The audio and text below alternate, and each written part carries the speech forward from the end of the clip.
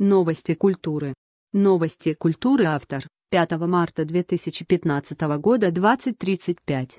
Российский Голливуд в Ялте Госсовет Крыма вернул в собственность Республики Ялтинскую киностудию. Это одна из старейших студий бывшего СССР.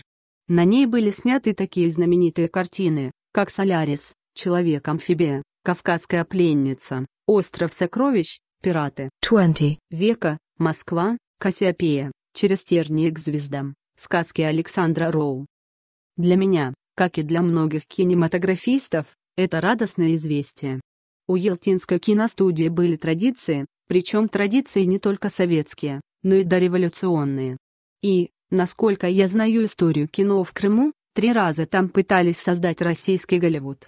Хочется верить, что на этот раз получится. Минус надеется ректор Всероссийского государственного университета кинематографии имени Герасимова, ВГИК, Владимир Малышев. Александровцы, во имя мира академический ансамбль песни и пляски «Российская армия им». А.В. Александрова выпустил уникальный музыкальный диск, представляющий в исполнении ведущих солистов ансамбля разных лет популярные украинские композиции «Давлюсь я на небо», «Думы», «Мой», «Думы» и «Хавкозак за Дунай», и «Чьяка месячная» и многие другие. В этот непростой период наш главный творческий коллектив выпускает музыкальный диск в поддержку братского народа Украины. Надеюсь, музыкальный проект Александровцев послужит возрождению добрых отношений между нашими странами. Минус рассказал начальник управления культуры Минобороны России Антон Губанков. Напомним, что в репертуаре ансамбля более 15 украинских танцев и песен, которые коллектив с успехом представляет на своих концертах и в России, и за рубежом.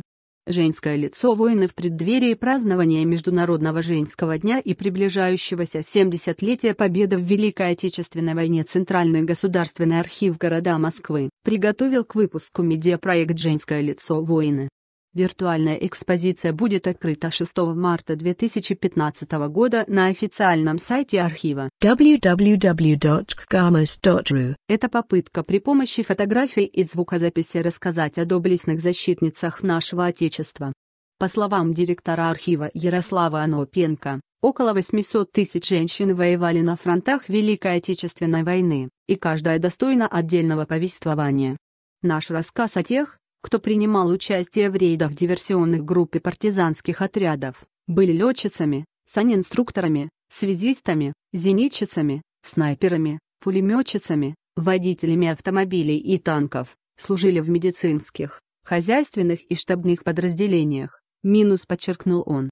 В медиапроекте представлено около 100 фотоснимков классиков отечественной фотожурналистики, В.В. Ахламова, Б. Евдовенко, В.В. Егорова, Г.В. Корабельникова, В.М. Мастюкова, Аиста Нового, М.А. Трахмана, Б.Н. Ярославцева и других.